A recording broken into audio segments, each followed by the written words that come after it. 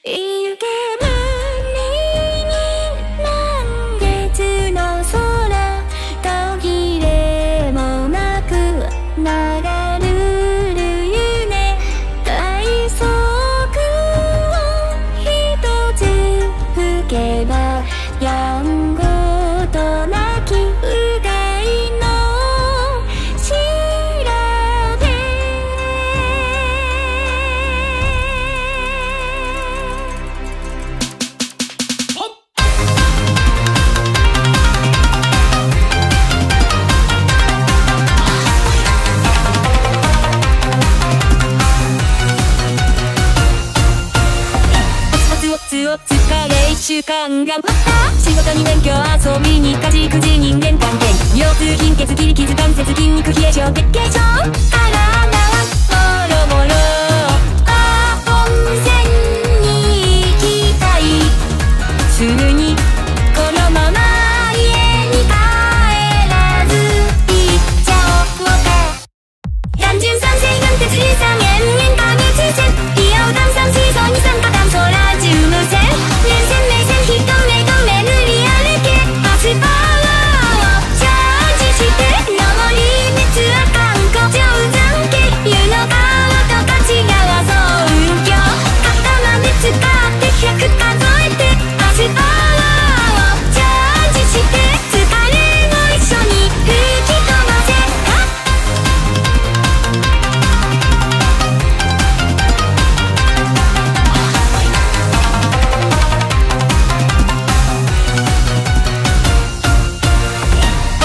は気になる木肌のゆみじなにゆったりゆっくりしましょう。お肌がツルツルズレズレ。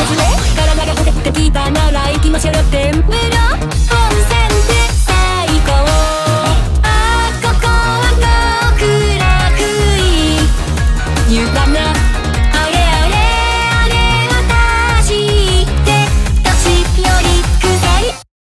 嫌がりの目